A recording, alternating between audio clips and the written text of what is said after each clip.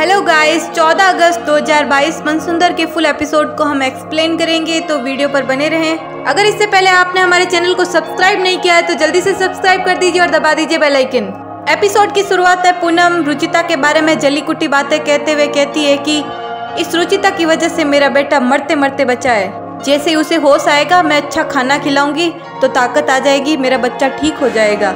इतने में एंट्री होती है रुचिता की।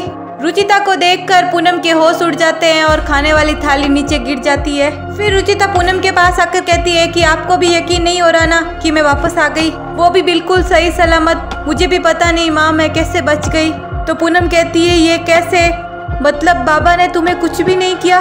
तो रुचिता कहती है, कौन से बाबा माँ? मैं किसी बाबा को नहीं जानती। मुझे सिर्फ़ इतना पता है माँ कि मेरी देवी माँ ने रक्षा की। ये देखिए, ये फूल उन्होंने मुझको दिया। फिर पूनम मन में सोचती है कि ये तो वही साड़ी है जिसमें रुचिता को हमने दफनाया था। फिर रुचिता कहती है कि माँ, बाकी सब लोग कहाँ हैं? कोई दिखाई नहीं दे रहा, निहार जी कहाँ हैं? अब पूनम ड्रामा करते हुए कहती है कि, ओहो, अब तुम्हें याद आई है सबकी। अब तक तो पता नहीं कहाँ थी तुम, बेचारा मेरा बेटा। पहले तुमने उसे बीमार किया और अब अब तुम तो रुचिता कहती है कि, निहार जी को क्या हुआ?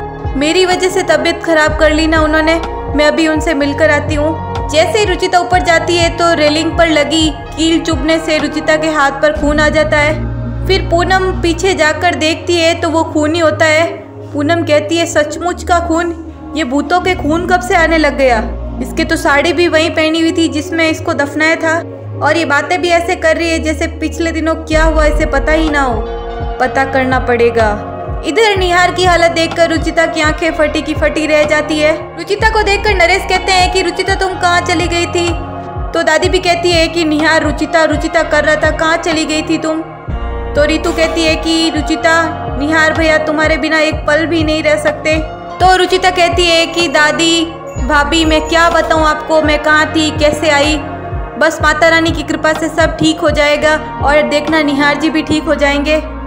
छुपकर पूनम ये सब देख रही होती है। पूनम कहती है, ये तो सच में रुचिता है, ये निहार के पास भी जा रही है। पर कैसे? इसका जवाब तो बाबा ही देंगे। पूनम जाती है बाबा की गुफा में। बाबा बाबा, कब से फ़ोन कर रही हूँ? बाबा मेरा फ़ोन ही नहीं उठा रहे हैं। अरे बाबा, आप है कहाँ? हो ना हो, ये बाबा कोई पाखंडी है। बातें इतनी बड़ी बड़ी और दर्शन इतने से।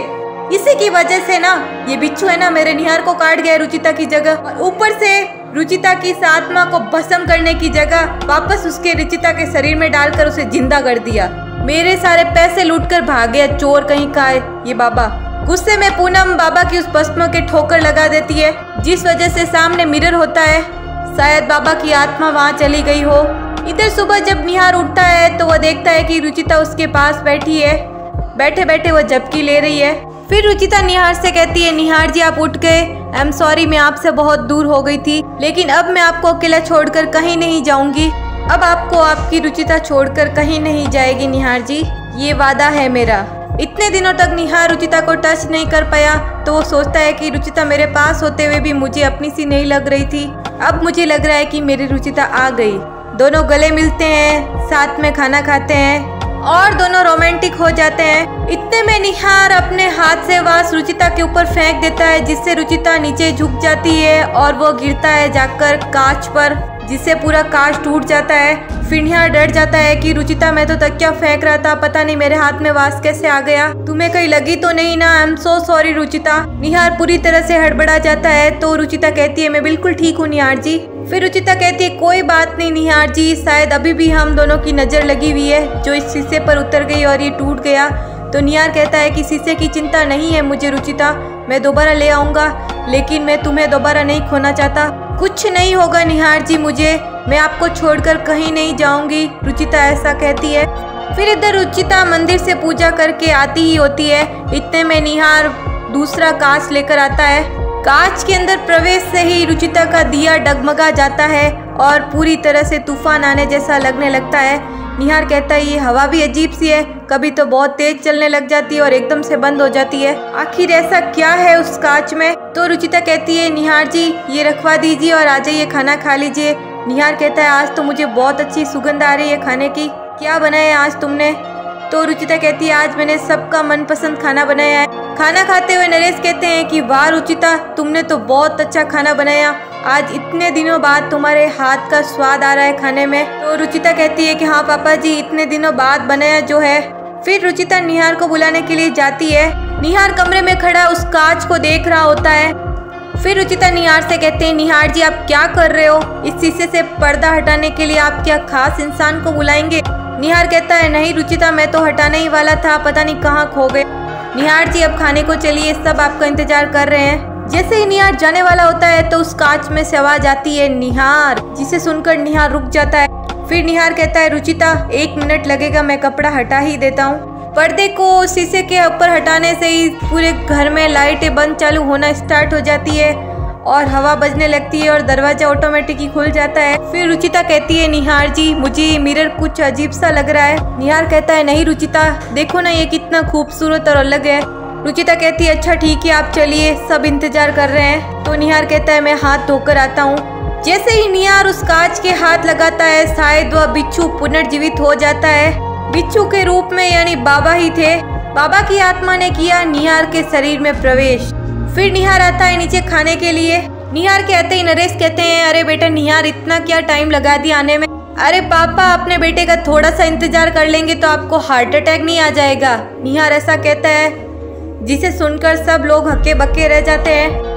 अरे, मज़ाक कर रहा था यार, आप लोगों ने तो दिल पे ले लिया। बात को संवारते हुए निहार कहता है निहार खाना खाना शुरू करता है और रुचिता पर चिड़ते हुए कहता है कि ये कैसा वाहियात खाना बनाया है तुमने रुचिता। जिसे खाकर तो मैं उल्टी कर दूँ। तो नरेश कहते हैं कि रुचिता ने इतने मन से खाना बनाया है, वो भी इतना स्वादिष्ट। हमें तो कोई खराबी नहीं लग रही है, और तुम्हें ऐसा क्यों लग रहा है? तो निहार कहता है कि आपको खाना है तो आप खाइए। मुझे तो इसमें मिट्टी का टेस्ट आ रहा है, मुझे कोई स्वादिष्ट नहीं लग रहा ये खाना। तो रुचिता कहती है, निहार जी, आपका टेस्ट कब बदल गया? मुझे पता ही नहीं चला। तो पूनम कहती है कि, बेटा, तुम्हें खाना पसंद नहीं है तो मत खाओ। तो दादी पूनम को कहती है कि, तुम्हें निहार को डांटना चाहिए और तुम उल्टा उसको ही सपोर्ट कर रही हो। ये गलत बात क्यों कर रही हो पूनम? तो पूनम कहती है कि, मैंने क्या गलत कह दिया, माँ जी? मेरे बेटे को खाना पसंद नहीं है तो वो कैसे खाएगा? ऐसे ही मुँह में ठूसते जाएगा क्या? गुस्से में निहार कहता है कि ये खाना मेरे गले से उतरेगा ही नहीं, और वो खाने की प्लेट ज़ोर से नीचे गिरा देता है। निहार की ऐसी हरकतें देखकर रुचिता चूर चूर हो जाती है। निहार फिर कमरे में जाता है, ये क्या? एक निहार बैठा है और एक निहार मिरर में कैद है। कांच में अंदर कैद, निहार कहता है, रुचिता, मुझे बाहर निकालो यहाँ से। बाबा के रूप में निहार कहता है कि, क्या है? क्या रुचिता रुचिता चिल्लाकर, तू मेरे सर में दर्द दे रहा है। तुझे तो ना कोई देख सकता है और ना कोई सुन सकता है। कांच के अंदर कैद निहार कहता है कि ये सब क्या हो रहा है? मेरे साथ मैं कोई बुरा सपना तो नहीं देख रहा हूँ। तो बाबा के रूप में निहार कहता है कि, सपना नहीं, ये सच है सच। तेरी सच्चाई है मूर्ख इंसान। तुझे जिस बिच्छू ने डंक मारा था, उसका जहर तो निकल गया। लेकिन उसका भस्म आज भी तेरे शरीर के अंदर है। और जब तक उस बिच्छू का अंश ज़िंदा है, मैं भी ज़िंदा हूँ। बस। उस अंश तक पहुँचने का ज़रिया चाहिए था हमें और अपनी शक्तियों से इस शीशे को हमें घर में लाना था। अच्छा था, उस समय रुचिता के ऊपर वास निहार ने नहीं बाबा की शक्तियों ने गिरा कर उस कांच को तोड़ा था। फिर कांच में कैद निहार कहता है, नहीं नहीं, ये क्या है सब? कुछ नहीं होता, ये भस्म, ये बिच्छू। मैं यकीन नहीं करता इन बातों पर। मुझे बाहर निकालो तुम। तो बाबा के रूप में निहार हँसते हुए कहता है कि हम इतनी आसानी से तुझे निकलने नहीं देंगे। तेरी बीवी के ज़रिए माता रानी को इस धरती पर आने के लिए मजबूर कर देंगे। उस माता रानी की शक्तियाँ छीन लेंगे। अच्छा तो बाबा का अभी तक पूरी तरह से अंत नहीं हुआ है। निहार के शरीर के ज़रिए बाबा पुनर्जीवित हो गए हैं। और फिर से वह देवी की शक्तियाँ लेने के लिए आतुर है। कांच में कैद निहार कहता है कि मुझे तुम्हारी इन बातों में कोई इंटरेस्ट नहीं है। अपने जादू टोना से मुझे इस कांच से बाहर निकालो। वरना तो बाबा कहते हैं कि वरना क्या? क्या करेगा तू?